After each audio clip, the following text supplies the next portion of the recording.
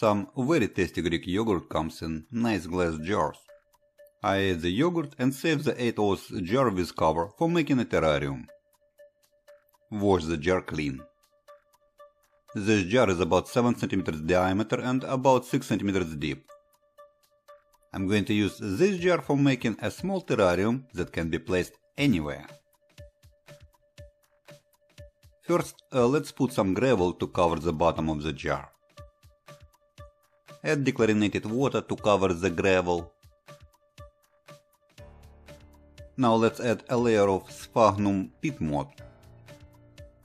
3-4 heaped teaspoons should be enough for this size jar. Peat moss has a great water retaining qualities. And the excess of water will stay in the gravel layer.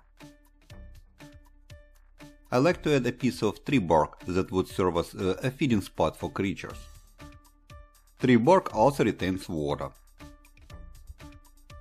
Now we can add live moss.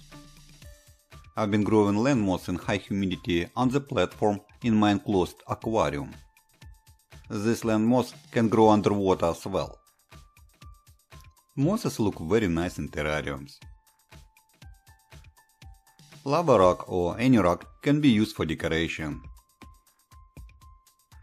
Let's cover the terrarium and let it sit overnight for the peat moss to get moist. I check the terrarium the next day. The top part of the peat moss layer is still dry. Let's moist it more and let it sit one more night.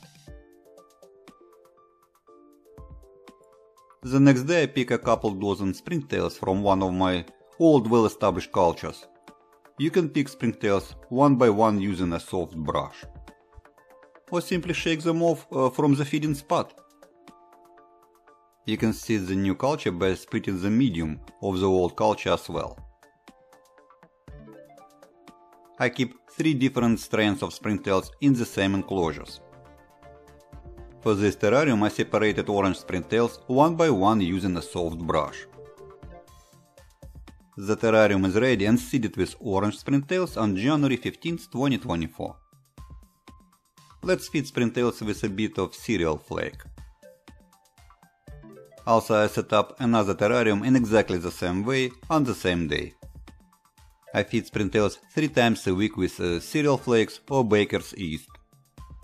Three weeks later, on February 8th, I noticed a lot of orange baby springtails. It was a pleasant surprise. Usually takes 3-4 months for the population of orange springtails to grow. Feeding spots are the best place for observing springtails. In the following weeks I set up a couple more terrariums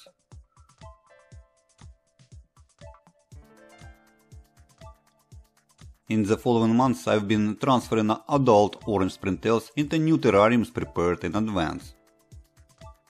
Using a soft brush is the easiest way to pick orange springtails one by one. And it takes a dozen or more springtails to establish a new colony.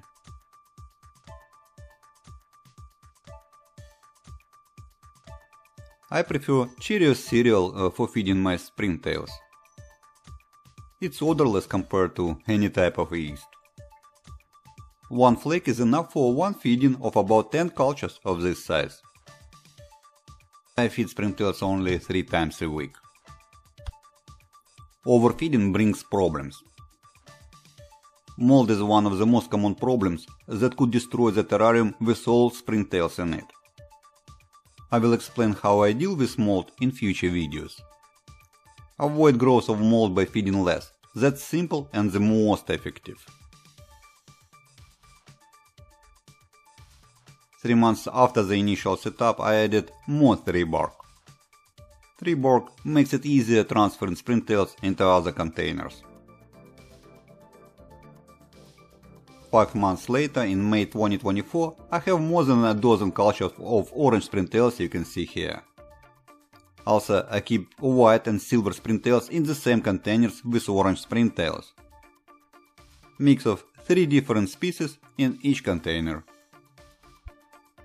Adult orange springtails are the largest and the most noticeable among all. All my terrariums and aquariums get only indirect sunlight from the window. Orange springtails are nice and simple to take care of pets. Funny, moving around cheetahs they are.